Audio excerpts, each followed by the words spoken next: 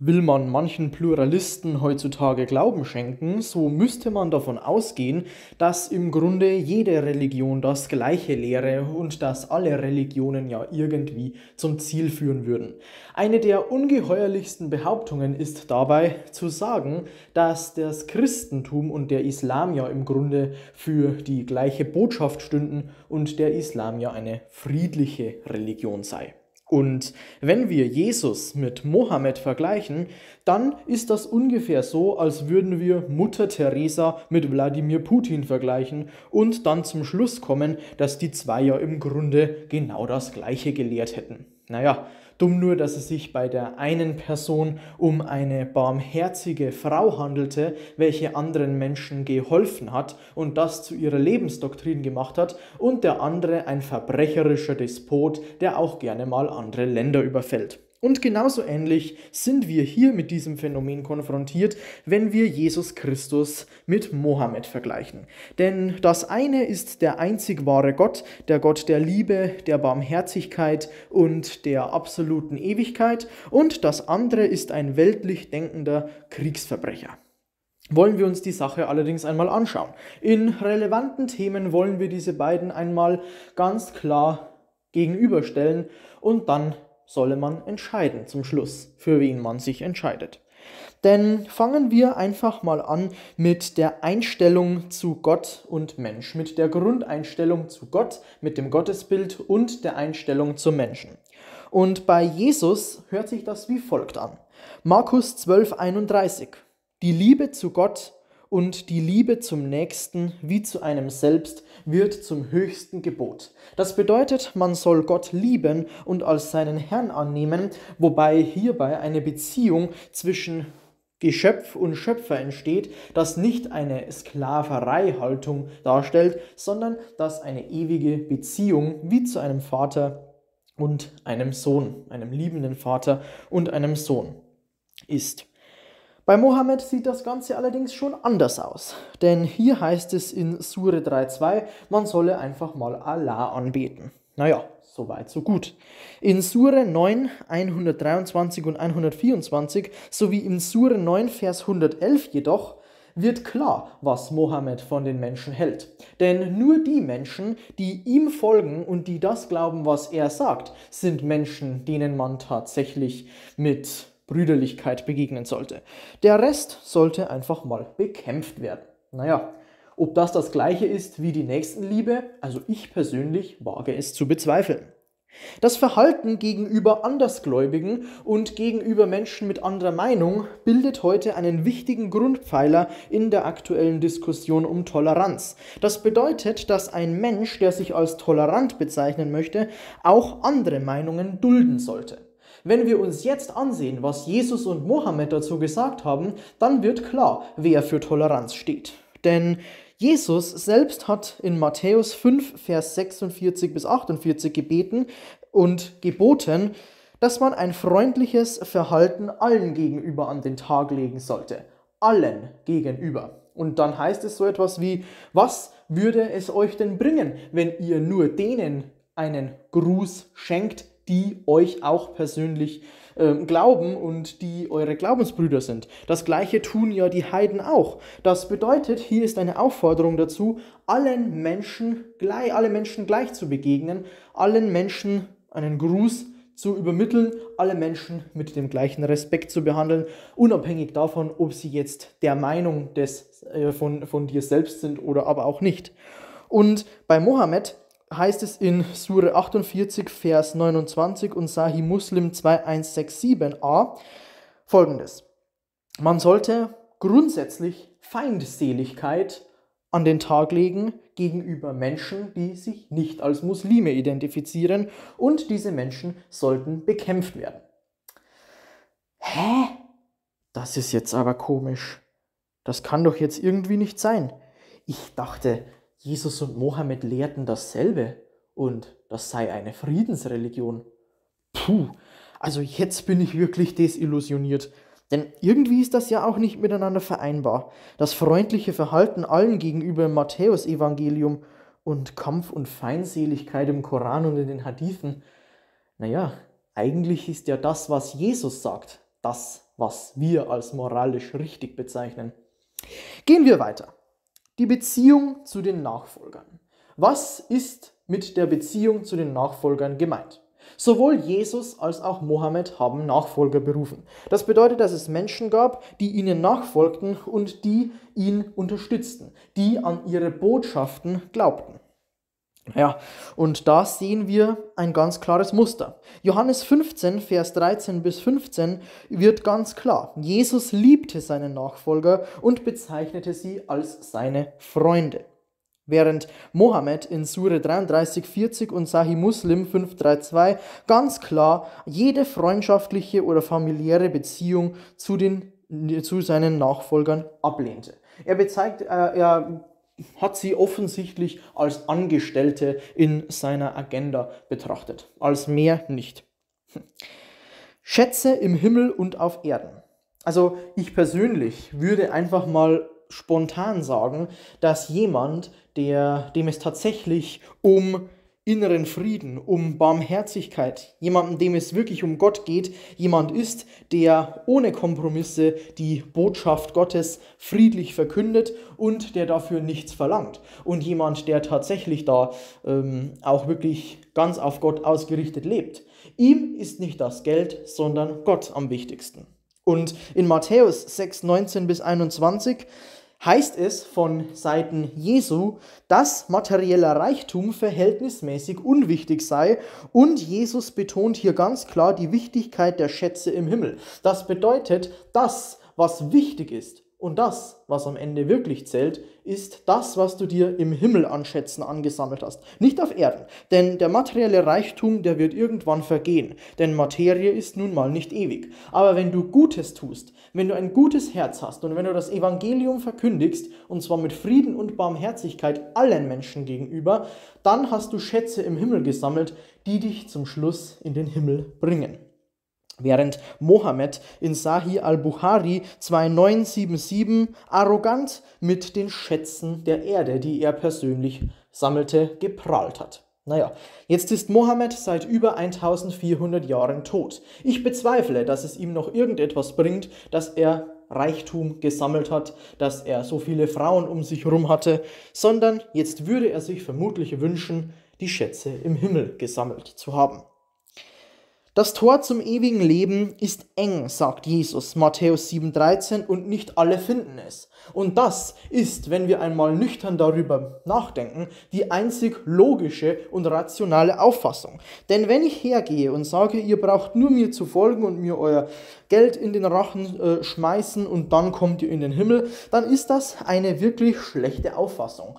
Und Mohammed hat ja auch ganz klar gesagt, ähm, Sahih Muslim 194a und 196b, dass das Tor zum ewigen Leben weit ist. Natürlich, dann hört es sich ja auch schöner an. Aber die Tatsachen sind halt nun mal so, dass es nicht reicht, wenn man einfach mal einmal gut gewesen ist oder wenn man einmal etwas Gutes in seinem Leben gemacht hat und dann danach einfach tun und lassen konnte, was man will.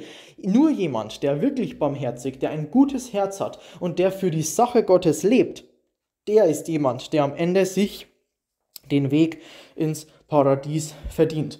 Und das bedeutet hier ganz klar auch, um das ganz klar zu sagen, Jesus persönlich will, dass alle Menschen auf diesen Weg des ewigen Lebens kommen. Aber ewiges Leben kann nur erhalten, wer sich tatsächlich an Jesu Gebote hält und nicht jeder x-beliebige.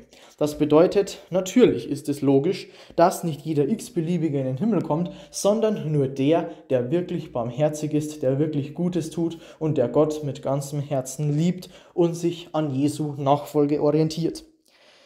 Zur Vergebung muss ganz klar gesagt werden, dass natürlich es eine nicht gute Lebensphilosophie ist, um es jetzt mal vorsichtig auszudrücken, wenn jemand ständig, um es jetzt so auszudrücken, die beleidigte Leberwurst spielt. Wenn man anderen an sein, ständig an ihren Fehlern misst und selbst Fehler macht und zwar einerseits dann verlangt, dass die anderen immer nett zu einem sind, aber dann selbst einfach schon kleinste Fehler auf die Goldwaage legt, um dann andere Menschen letzten Endes naja, zu beurteilen, dann ist das kein guter Stil. Natürlich muss man vergeben und verzeihen können, ohne damit die Fehler gut zu heißen, sondern sich um die Fehler Gedanken zu machen.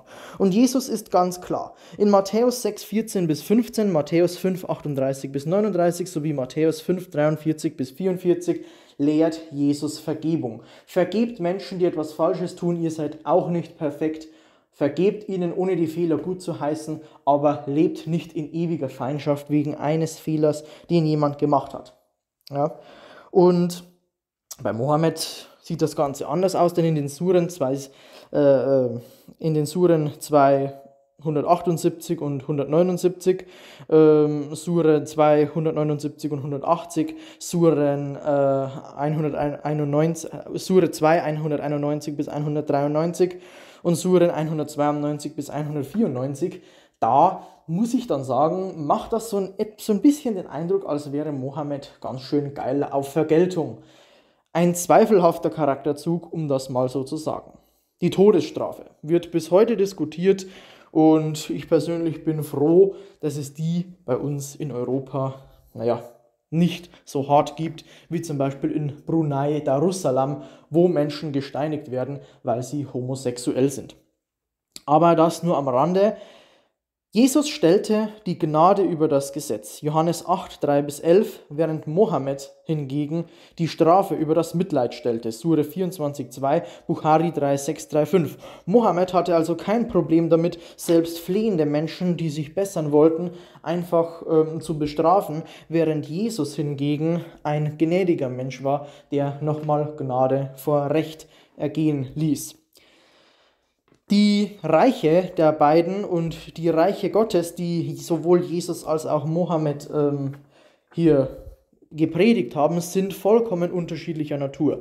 Also das Reich Gottes sieht in Jesu Predigten anders aus als in denen Mohammeds. Und die, das Reich Gottes nach Jesus ist in Lukas 22, 49 bis 51 und Johannes 18, 36 ein gewaltloses Reich, während es bei Mohammed um Kriege, um Schlachten und um Unfrieden geht. Sure 33, 60 bis 61. Die letzten Worte sind ja immer noch ein letzter Weg quasi mit seinem Leben abzuschließen. Und da ist es schon wirklich erstaunlich, was wir hier finden können. Denn die letzten Worte sind natürlich auch ein Gradmesser, wie manche Menschen letzten Endes ihr Leben beschließen wollen, wie manche Menschen ähm, vielleicht noch einmal äh, die Gelegenheit nutzen wollen, ähm, kritisch ihr Leben zu reflektieren und sozusagen sich für ihre Fehler zu entschuldigen, ähm, noch eine, einen letzten Wunsch oder noch letzte Botschaften mitzuteilen. Und zwischen Jesus und Mohammed ist in diesem Punkt eine Distanz, die zwar einerseits natürlich sehr stark ist, aber auch wirklich absolut erschreckend und erstaunlich. Wenn wir uns die letzten Worte Jesu ansehen, Lukas 23, 34. Jesus betete um Vergebung, betete um Vergebung sogar für seine Feinde. Was machen seine Feinde? Sie hängen ihn ans Kreuz. Sie schlachten ihn brutal ab. Und er, kurz vor seinem Tod, betet um Vergebung für diese Menschen und betet vor Gott, setzt sich für diese Menschen, die ihn gerade abschlachten, ein. Und da muss ich ganz ehrlich sagen, wie krass ist das denn bitte? Was für ein liebevoller Mensch muss jemand sein? Wie voller Liebe muss ein solcher Mensch sein? Ein solcher Mensch ist die Liebe Gottes persönlich. Und hier sind wir wieder beim Thema Fleischwerdung Gottes. Und Gott ist Liebe. Gott ist grenzenlose Liebe. Und in Jesus ist diese grenzenlose Liebe Gottes Fleisch geworden. Und es ist krass, absolut berührend und herzerwärmend, dass Jesus auch für die Menschen betet, die ihn persönlich sogar am Kreuz schlachten. Und da muss man einfach nur sagen, dieser Mensch, Jesus, ist nicht nur voller Liebe, dieser Mensch, Jesus, ist die Liebe Gottes. Und das ist eine wunderschöne Botschaft. Und wenn wir jetzt zu Mohammed kommen, dann muss ich sagen, bin ich wirklich, weil es ja ganz das genaue Gegenteil ist, erschrocken. Da ist es wirklich, das ist wirklich erschreckend, was da, was da tatsächlich abgeht. Denn schauen wir uns Bukhari 435 und 436 an. Schauen wir uns Sahih Muslim 530 und 531 an. Die letzten Worte Jesu waren sogar für Vergebung für seine Feinde zu bitten. Und Mohammed nutzt seine letzten Worte vor seinem Tod, um Allah, um den Fluch gegen Nichtmuslime zu beten, anzubetteln. Und da muss ich ganz ehrlich sagen, wie von Hass zerfressen, wie zutiefst bösartig und wie hasserfüllt muss ein Mensch sein, seine letzten Worte vor dem Tod zu missbrauchen, um andere Menschen zu verfluchen und das auch noch in Gottes Namen. Ich muss ganz ehrlich sagen, ekelhafter geht es nicht mehr und da bin ich wirklich so weit, dass ich sagen muss, es ist unfassbar, wie manche Menschen, wie uninformiert manche Menschen sein müssen, dass sie diesen Mann ernsthaft gleichstellen wollen, auf die gleiche Stufe stellen wollen mit Jesus. Jesus hat sogar für seine Feinde, die ihn ans Kreuz gehängt haben, die ihn brutal abgeschlachtet haben, um Vergebung gebeten. Und Mohammed hat Menschen aus ideologischen Gründen in Gottes Namen verflucht. Wie um alles in der Welt willst du diese beiden Menschen vergleichen? Ich persönlich kann das nicht nachvollziehen. Es wird ja manchmal gesagt, so wie ein Mensch im Umgang mit Kindern ist, so ist auch sein Charakter. Die Geschichte von der Kindersegnung durch Jesus ist natürlich eine wunderschöne Geschichte. Matthäus 19, 13 bis 15, Markus 10, 13 bis 16, Lukas 18, 15 bis 17 ist einerseits natürlich eine gute Veranschaulichung, wie liebevoll Jesus mit Kindern umging. Auf der anderen Seite findet sich hier allerdings auch eine wichtige theologische Mitteilung, eine wichtige theologische Botschaft des Evangeliums Jesu Christi, des Evangeliums Gottes. Nämlich schlicht und ergreifend die, dass wir ganz klar sagen müssen, ein Mensch erbt das Reich Gottes, wenn er ein Kind ist, in Anführungszeichen. Die Kinder sind nämlich noch ganz unbescholten, noch ganz unschuldig, wissen noch nicht viel und sind brav, hören auf ihre Eltern sozusagen eben, wie man eben als kleines Kind noch ist. Unschuldig einfach. Unschuldige, zarte Geschöpfe. Und wenn jemand so bleibt, wenn jemand also zwar erwachsen ist, aber innerlich Kind bleibt, dann erbt man laut Jesus das Himmelreich. Und das ist natürlich eine Botschaft, die im Einklang mit unseren persönlichen moralischen Einstellungen, im Einklang mit der Schrift steht, sodass wir ganz klar sagen müssen, da ist also zweierlei. Da haben wir den liebevollen Umgang Jesu mit Kindern und die theologische Botschaft, die Jesus direkt mit der Kindersegnung und mit dem Spielen mit Kindern verbindet. Wenn wir uns jetzt anschauen, eine Geschichte aus Al-Albani, Buch 1 Hadith äh, 1183 aus arabischer Referenz. Da finden wir einen Jungen, der an Mohammeds Bart zieht. Naja, so weit, so gut. Und dann macht Mohammed seinen Mund auf und steckt seine Zunge in den Rachen des Jungen. Wir sprechen hier von einem Jungen, wir sprechen hier von einem Heranwachsenden und Mohammed steckt seine Zunge in den Rachen dieses fremden Jungen. Also da ist das Wort verstörend noch fast ein Lobpreis. Und ich persönlich weiß nicht an dieser Stelle, was ich dazu noch sagen sollte, denn das ist verstörend. Das ist verstörend und das ist krank. Barmherzigkeit ist etwas sehr, sehr Wichtiges, laut der Bibel und natürlich laut unserem moralischen Befinden. Denn es ist natürlich so, und da stimmt vermutlich jeder Mensch überein. Damit, da stimmen die spirituellen Schriften, da stimmen die spirituellen Erfahrungen überein. Barmherzigkeit ist etwas unglaublich Wichtiges. Das gehört zur nächsten Liebe, das ist damit untrennbar verbunden, weil wenn ich einen Menschen liebe, ich ihm natürlich auch helfe. Das heißt, Soziale Gerechtigkeit, Nächstenliebe sind unendlich wichtig und das ist natürlich etwas, was die Barmherzigkeit damit mit einschließt. Und In Matthäus 5,7 wird ganz klar gesagt, Barmherzige sind selig und sie werden Erbarmen finden. Das ist eine klare Botschaft. Mohammed hingegen hat in Surah 41, Vers 24 von seinem Allah eine ganz andere Botschaft erhalten, denn wenn Menschen um Gnade bitten, dann sollte man ihnen diese verwehren.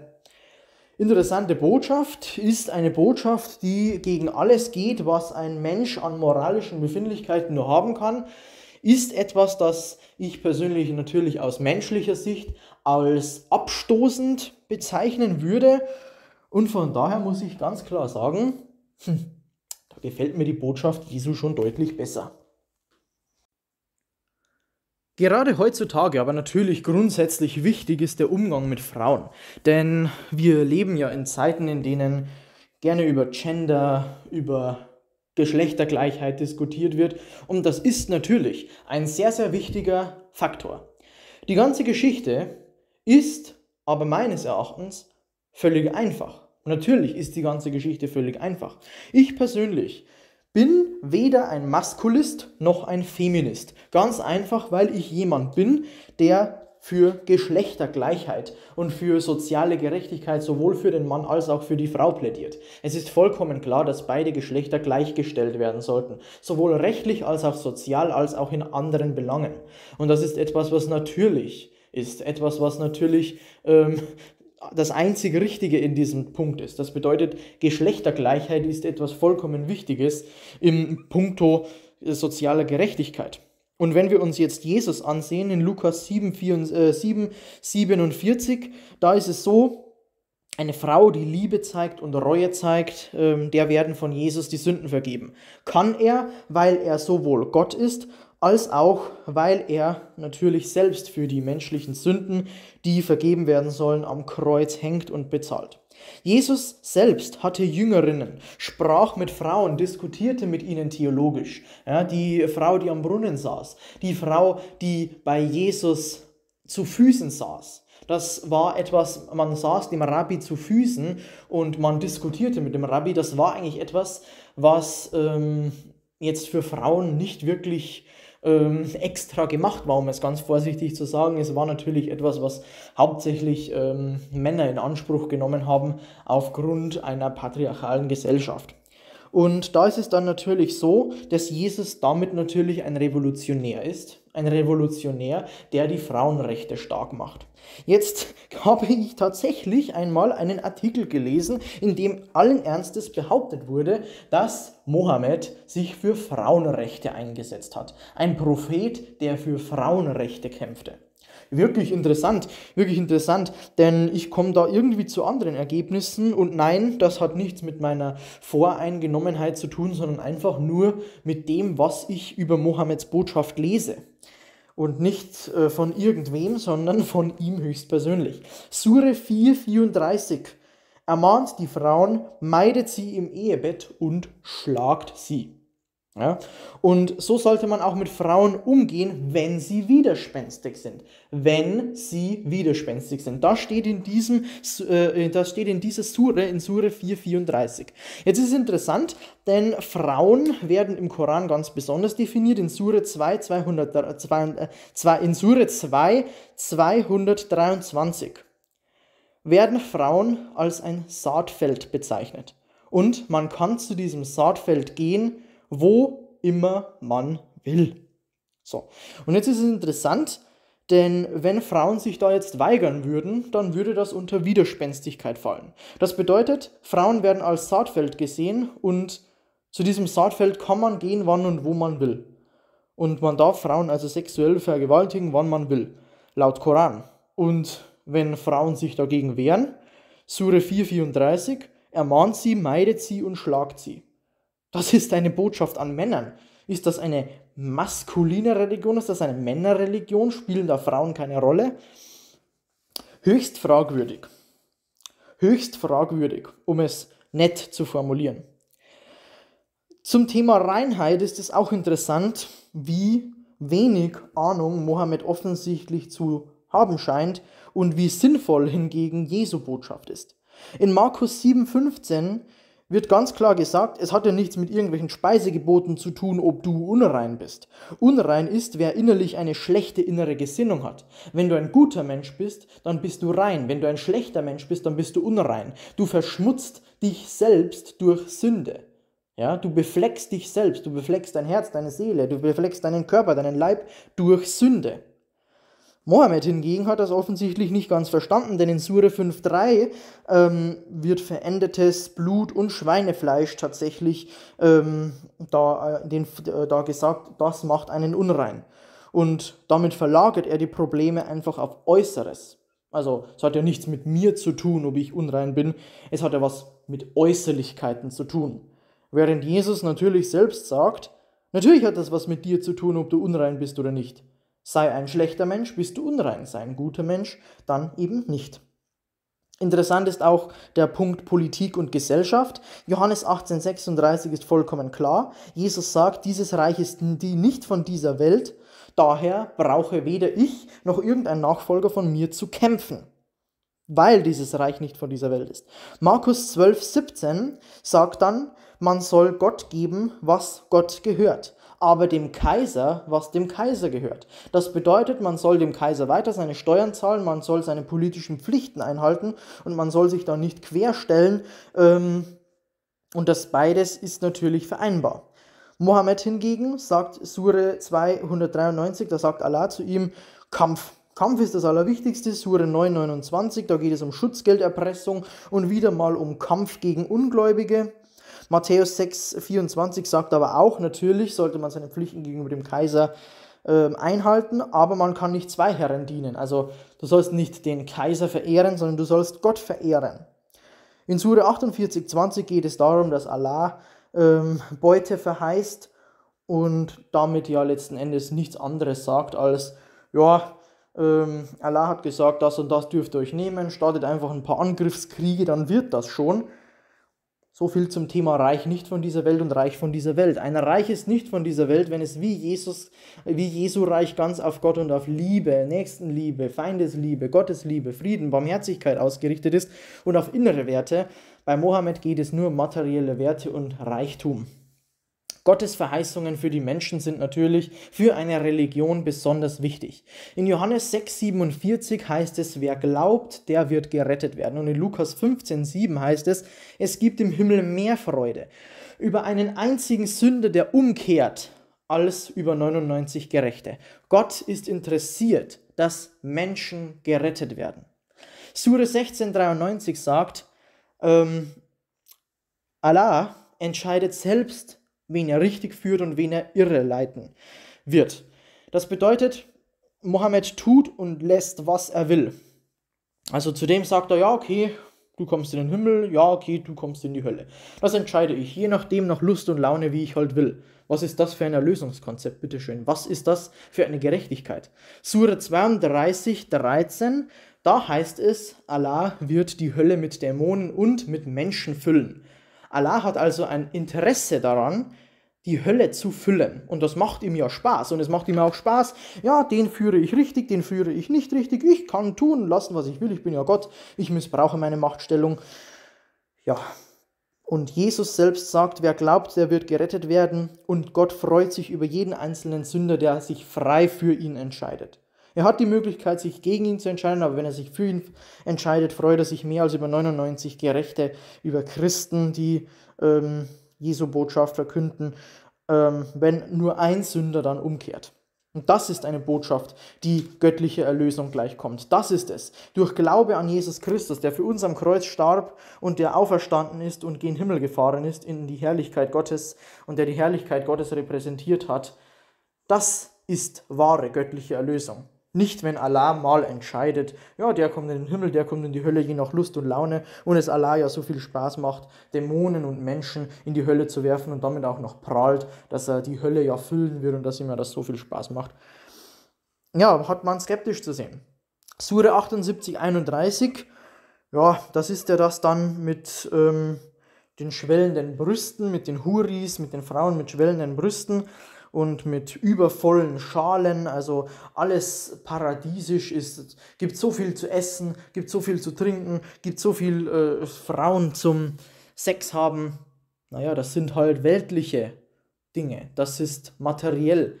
Da hat sich jemand wohl auf materielles, auf materiellen Reichtum hier ganz klar spezialisiert, während Jesus die himmlischen Schätze überbetont hat.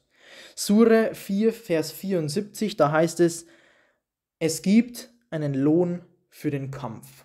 Der Lohn wurde von Allah bereitet, wenn man kämpft. Und somit müssen wir ganz klar zum Schluss kommen, Mohammed hat weltliche Gelüste gehabt. Naja, die weltlichen Gelüste eines sexgeilen Kriegsverbrechers. Und hat dann gesagt, ihr könnt das auch haben. Ihr könnt so viele Frauen haben, wie ihr wollt. Ihr könnt so viel zu essen und zu trinken haben, wie ihr wollt. Es gibt so viel materiellen Reichtum. Ihr könnt es euch richtig gut gehen lassen im Himmel, wenn ihr kämpft und wenn ihr euch den Reichtum erbeutet. Während Jesus von unbeschreiblicher göttlicher Herrlichkeit in Ewigkeit spricht, wenn man an ihn glaubt und wenn man damit seiner Nachfolge antritt, ihn also verkündet, der für uns am Kreuz starb, für unsere Sünden und der ein friedlicher, barmherziger und gütiger Mensch war. Und wenn man selbst ein friedlicher, ein liebender, ein barmherziger, ein friedlicher Mensch war, dann wird man das Himmelreich erben. Und das ist eine unbeschreibliche, ewige Herrlichkeit Gottes, die gar nicht mit Worten beschrieben werden kann, sodass hier ganz klar getrennt wird zwischen dem irdischen und dem himmlischen und das Himmlische ist wundervoll. Wenn man dieses Leben gut gelebt hat, wird man in die himmlische Herrlichkeit eingehen und das stimmt ja überein mit den Nahtoderfahrungen.